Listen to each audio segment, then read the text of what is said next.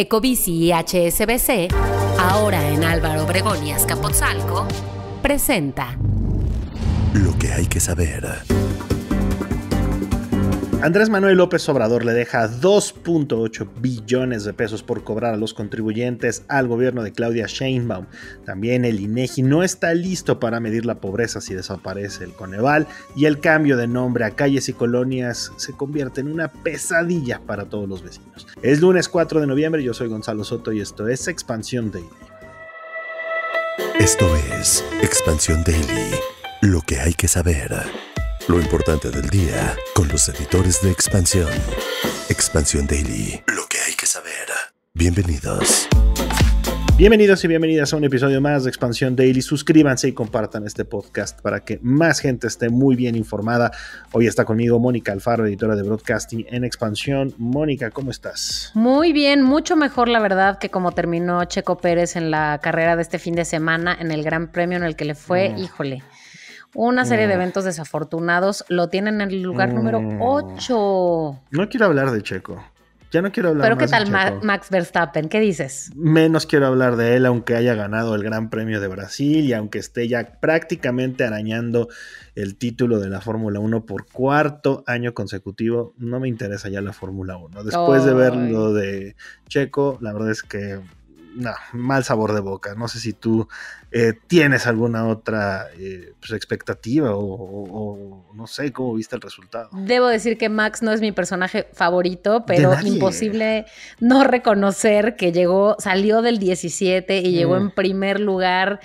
O sea, no sé cómo lo hace, pero es máximo. Así que mira, vamos a dejar ya eso atrás, hablemos de otras Mm. cosas, porque hay mucho que hablar sobre impuestos. Mucha lana que dejó el gobierno anterior en la mesa y pues está más que lista, bueno, no toda, pero una buena parte de los 2.8 billones con B de pesos que el gobierno de Andrés Manuel López Obrador no alcanzó a cobrar en su sexenio, pues está ahí listo, eh, pues una buena parte de ello para que el Servicio de Administración Tributaria de Claudia Sheinbaum se haga de esa lanita. Ojalá que lo logre al menos de una buena parte. A ver, comparemos. 2.8 billones es con lo que cerró el sexenio.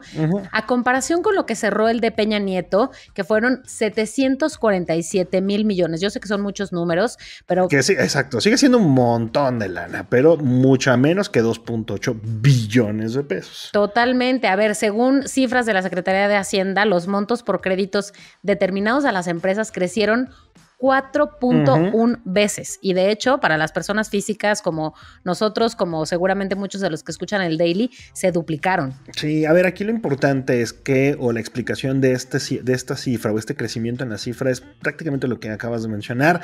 El SAT durante el gobierno de Andrés Manuel López Obrador, y aquí lo hemos platicado a lo largo de los últimos años, se ha puesto las pilas en, el en temas de cobro y es por eso que, y aunque ya determinó estos adeudos a los contribuyentes, queda pendiente su cobro. Ahora, la mala noticia para el gobierno de Sheinbaum es que de estos 2.8 billones de pesos, en realidad solamente puede acceder, pues vamos a llamarlo rápido, a 1.1 billones, porque los eh, 1.7 billones o 63% del total están en disputa, es decir, hay un juicio pendiente todavía entre la autoridad y los contribuyentes y por lo tanto no puede tocar el SAT ese dinero.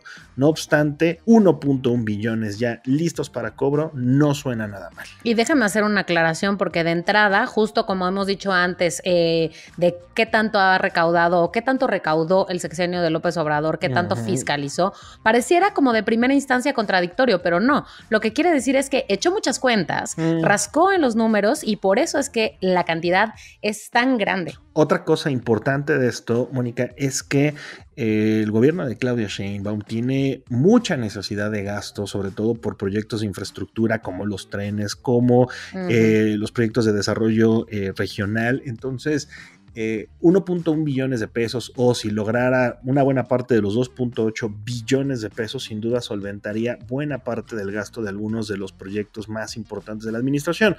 De nuevo, esto ya es labor del SAT que tiene al frente Antonio Martínez Dagnino, quien fue también la persona que cerró el gobierno anterior al frente de la institución. Pero bueno, hablando de instituciones, Moni, el INEGI, de acuerdo con especialistas, no estaría listo para medir la pobreza. Si desaparece el Coneval, este Consejo Nacional de Evaluación de la Política de Desarrollo Social, que eh, pues prácticamente vive sus últimas horas. Vaya, sí se logra aprobar la desaparición de varios de los organismos autónomos que pretende el gobierno de Claudia Sheinbaum. Y es que, a ver, vamos dos pasos atrás. En México hay 46.8 millones de personas en situación de pobreza. Esto es más del 36% de la población. ¿Qué es lo que hace el, el Coneval? Mide desde el 2006 todos los temas de pobreza y de hecho antes de ese año México no tenía una metodología robusta, confiable, bien establecida para medir los niveles de pobreza. Entonces, a pesar de su importancia, ahora, bueno, lo que está pasando es lo que ya sabemos, de, lo que tanto hemos hablado, el gobierno de Sheinbaum busca eliminar este órgano desde el sexenio pasado con las propuestas de reforma de López Obrador y si esta enmienda se aprueba en el Congreso, las funciones del Coneval, como decías, van a pasar al INEGI. Ahora, el problema es que eh, el INEGI no está preparado para esto y de hecho varios especialistas a los que consultó Dulce Soto, nuestra colega que hizo esta nota, dijeron cuáles son los riesgos de que esto suceda, riesgos específicos. Fíjate, por ejemplo, Rogelio Gómez Hermosillo, presidente ejecutivo de Acción Ciudadana frente a la pobreza, eh, comentó que desearía que hubiera sensatez y que no se eliminara ningún organismo autónomo, pero ante la decisión que se tomó con un criterio político eh, que se quiere amparar en discursos de que si son costosos estos organismos, si son, si son lujosos, en realidad no se justifica este movimiento y lo único que va a ocurrir es que el país va a perder capacidad de medir buena parte de la política social que además desde la administración del gobierno de López Obrador ha crecido el gasto en términos sociales y es muy importante que eh, podamos medir correctamente eh, pues los beneficios, los resultados de ese dinero que se está yendo a los programas sociales. Sí, porque no es nada más medir el estado o la cantidad o las estadísticas alrededor de la gente que vive en pobreza, sino eso, evaluar las políticas de desarrollo social de los gobiernos. Si no hay evaluación de ellas, ¿cómo vamos a, a, saber si funciona o no? Y si se está invirtiendo bien el dinero que ojalá Claudia Sheinbaum pueda recuperar a través de esas cuentas que hablábamos en la nota anterior. Tal cual. Y mira, Rodolfo de la Torre, eh, director de movilidad social del Centro de Estudios Espinosa Iglesias, eh, comentó que la eliminación del Coneval tendría tres impactos. Primero, se acabaría la confianza que actualmente se tiene en la metodología de la medición de la pobreza, habría especulación. Un segundo impacto es que desaparecería la misión del Coneval de evaluar eh, la política de desarrollo social y las entrañas de cada una de estas políticas públicas. Y un tercer impacto es perder las recomendaciones y sugerencias que hace también el Coneval para eh, pues ser más eficientes con el uso de los recursos. Hay otra cosa también, y es que al INEGI se le han ido agregando tareas en los últimos años. Eh, hace pues una década o poquito más de una década, por ejemplo, Banco de México dejó de medir la inflación porque, pues sí, ahí hacía mucho sentido, era juez y parte, no podía ser Banco de México quien tomara las decisiones de política monetaria que afectan a la inflación y al mismo tiempo ellos medirla. Ya la mide el INEGI, pero aparte el INEGI hace muchísimas cosas, no nada más nos cuenta, eh, tiene toda la, la capacidad de evaluación también de la política demográfica y ahora pues esta función adicional.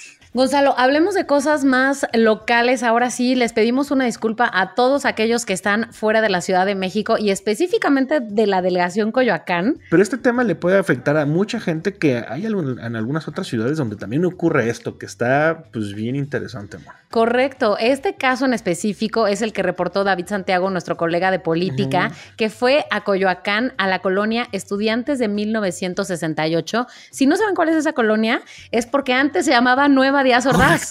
No sé si ustedes han pasado por ahí, pero ahora se llama Estudiantes de 1968 y los vecinos están alegando los costos y las demoras de que las calles y sobre todo las colonias cambien de nombre. Y es que desde el 2021 el gobierno de la CDMX empezó a hacer cambios en el nombre de cuatro vialidades, reemplazando las de personajes o hechos históricos polémicos por nombres de mujeres destacadas o de eventos que buscan reivindicar la memoria histórica, cosa que es el caso de esta colonia que en septiembre de este año cambió de nombre a Estudiantes de 1968. A ver, nadie en la vida va a pelear, eh, o nadie en su sano juicio va a pelear que una colonia se deje de llamar Nueva Díaz Ordaz, conociendo el personaje que fue Gustavo Díaz Ordaz, el expresidente, y mucho menos que se le cambie el nombre a Estudiantes eh, de 1968. La cosa aquí es que estos movimientos o estos cambios en la nomenclatura de las colonias, de las calles, implica o ha implicado un viacrucis burocrático para todos los vecinos. ¿Por qué? Porque desde el cambio oficial del nombre de la colonia, las personas deben de realizar la actualización de todos sus documentos. Imagínense cuando se le... Es frustrante cuando se te olvida el password de Netflix, cuando se te pierde la credencial de lector, cuando se te venció el pasaporte. Imagínate tener que cambiar todo porque tu colonia ya cambió de nombre. Y deja tú tu estado de cuenta de la CFE, tus escrituras, porque a ver, obviamente esto no tiene ninguna implicación en los derechos de la propiedad de los vecinos, ¿no? Si es tu casa, sigue siendo tu casa, tu terreno sigue siendo tu terreno. Sin embargo, sí implica un montón de, trámites, porque aunque de hecho eh, la especialista, por ejemplo, Mariana Zamudio, abogada en el despacho Adaya Penalistas y Asociados, le dijo a, a Expansión que el cambio de nombres no es más que un simbolismo y que de hecho los vecinos no tendrían por qué pagar nada por estos trámites. Sin embargo, pues, o sea, ninguna familia tendría que desembolsar dinero. Sin embargo, ha sido un verdadero martirio. De hecho, David habló con varios vecinos de esta, de esta colonia y hay cartulinas por todos lados. La típica cartulina eh, fosforescente de, diciendo claramente que los vecinos no están de acuerdo con el cambio de nombre. Es que esto, Mónica, a ver, el gobierno está confundiendo dos cosas. Una es el valor monetario, que efectivamente ninguna familia tiene que desembolsar o desembolsa un solo peso por el trámite en sí, pero y el traslado y el tiempo destinado a este tipo de cambios, eh, vaya, simplemente el tedio de tener que realizar todos estos ajustes burocráticos. El tiempo. Tal cual, el tiempo también tiene un costo y cualquier economista dirá que incluso el tiempo, ¿verdad? Se puede, eh, vaya, al tiempo se le puede poner un valor, ¿verdad? Monetario y esto es lo que están padeciendo muchos de estos vecinos que, a ver, si bien no son de poca memoria histórica, insisto, ahora sí que pasar de la nueva Díaz Ordaz a estudiantes del 68 no está nada mal, sin embargo, es tal el viacrucis, es tal el calvario que tienen que atravesar que sí prefieren que mejor se queden las cosas como están. Pero bueno, el que se anda buscando un cambio con muchísima, muchísima lana y mucho fastidio para quienes seguimos la política estadounidense es Elon Musk, el multimillonario dueño de SpaceX, de Tesla, eh, de, de, Boring Company, de X antes Twitter, quien se convirtió en posiblemente el vocero más famoso, más rico del lado de la campaña de Donald Trump. Y déjame decir algo porque tú no has comentado en dónde estás, pero tú estás ya ahorita en Washington para la cobertura de esta elección en Estados Unidos, que es muy importante, no solo porque Estados Unidos es quien es, sino porque es quien es con respecto a México. Así que por eso... No nada más quién es, sino por quiénes somos también. Exactamente. Así que decirle a todos los podescuchas que tú estarás haciendo una transmisión a través de Instagram, un Instagram Live a las 7 de la noche, diciéndonos ya cómo está todo por allá, pero además mañana martes estaremos haciendo al final del día a las 9.30 de la noche un live con el análisis de todo lo que pasó. Porque, a ver, eh, ahora estamos hablando de Elon Musk, pero lo que va a pasar en esta semana es determinante para México por completo. Y a ver, bueno, ¿cuál es el papel que ha jugado Elon Musk con respecto a la campaña de Trump? Cuéntame, por favor, por qué se llama el Dark Maga de lo que se ha vuelto el representante. A ver, el MAGA es por el, es el acrónimo de esta frase de, campaña de, Donald Trump desde 2016, Make America Great Again. Eh, Elon Musk ha usado una gorra negra y sale vestido negro en varios de los eventos a los cuales ha acudido a apoyar al expresidente y ahora candidato republicano Donald Trump. Y lo que ha hecho también a través de redes sociales, eh, vaya, como les digo, él es el dueño de X, una de las plataformas pues de mayor influencia todavía, ha perdido mucho punch, pero sigue siendo una de las principales a nivel internacional, a nivel global, y lo ha hecho también con mucho dinero, ha dado varios millones, varias decenas de millones de dólares a la campaña y desde hace por lo menos dos semanas le ha dado lana directamente a la gente. Un millón de dólares diarios, los que, ha, los que ha dado en unos chequesotes, así como si fuera en programa de televisión, ya sabes, este... De los 90. De los 90, ¿verdad? Este sábado gigante. Pues eh, así, así Elon Musk, quien ha estado repartiendo dinero en algo que mucha gente ha cuestionado ya, a ver, sobre todo porque lo hace con votantes en estados clave, sobre todo en Pensilvania, que es, tiene que ser ganar o ganar para cualquiera de los dos candidatos. Y así este personaje de verdad muy controvertido y que ahora, pues esta parece que es la mayor apuesta que ha hecho Elon Musk en su carrera, apostar por Donald Trump. Es que siento que están lejísimos esos tiempos en donde pensábamos en Elon Musk y lo que pensábamos era un billonario, sí provocador, pero siempre en términos de innovación, de negocios, de tecnología, incluso diría, yo qué sé, de, ciencia, ¿no? Ahora es en realidad un provocador en términos de principios, de valores y poco a poco ha mostrado realmente un perfil mucho más político e ideológico que de todo lo que ya dijimos antes. Y de hecho previamente apoyó a otros personajes políticos, pero desde el 13 de julio de este año, que recordarán aquel momento en el que un tirador trató de asesinar a Donald Trump en un mitin en Pensilvania y todo esto, pues lo ungió mucho más. Elon Musk, de hecho, anunció que apoyaría su carrera eh, y su rol ha sido más que protagónico, de manera que si Trump llega a la Casa Blanca, Elon Musk va a tener un cargo político. Sí, de hecho se ha hablado de que él sería el eh, secretario del Department of Government Efficiency, el Departamento de Eficiencia Gubernamental, que eh, pues vería la desaparición, así como en México la desaparición de los entes autónomos. Bueno, allá en Estados Unidos hay decenas de reguladores a los cuales eh, o, de los cuales Elon Musk habla pestes, tal cual habla él de que el gobierno está demasiado abultado y que será su función o, o sería su función revisar qué funciona, qué no funciona y mandar al demonio a muchas de estas regulaciones que, eh, ojo, algunas también tocan partes como de comercio, de eh, infraestructura, de mm, alimentos. Entonces, sí es, digamos, como dice, un agente provocador, pero al mismo tiempo es un agente provocador con muchísimo, muchísimo dinero. Es el hombre más rico del planeta y también con muchísima influencia debido a sus redes sociales. Pues esténse muy al pendiente de todo lo que vamos a estar publicando, no solo en el sitio en Expansión MX, sino también en nuestro canal de YouTube, en redes sociales, arroba Expansión MX, porque va a haber análisis del mero bueno, como hemos estado haciendo todo este año en términos electorales. Sí, va a estar bien interesante, sobre todo porque como bien decías al inicio, eh, es una elección determinante, no nada más para Estados Unidos, no nada más aquí en este país, sino también allá en México. Pero bueno, vámonos ya con la última nota del día y para arrancar la semana, ¿qué te parece si vamos con esta, eh, vamos a llamarle Siminota, Simimonstruo, Simipremio? ¿Cómo le llamamos? Ahorita lo vemos. Aunque a veces parezca, no todo está perdido. Y ahí te va, Mónica, porque es noviembre y como cada inicio de mes les traemos ya la revista Expansión que en su edición de este mes tiene portada al Doctor Simi. Y cuéntanos, Mónica, por qué está este famoso personaje de farmacias similares. Es que, a ver, es una estrategia de marketing increíble que empezó pues como una estrategia para una farmacia, pero se ha convertido en un fenómeno cultural que de verdad no estamos exagerando ni usando palabras a la ligera, traspasó fronteras. Es que cuando nos íbamos a imaginar que el lanzamiento de este peluche hace tanto tiempo, no sé si tú te acuerdas de ese Corona Capital en el 2021, lejos, en donde por primera vez alguien le lanzó un doctor Simi a la cantante noruega Aurora. Pero a ver, después de Aurora está Rosalía, pero Adele, pero Coldplay. O sea, a ver, y en, este reportaje muy especial, Nancy Malacara escribe como farmacias similares, que efectivamente es una compañía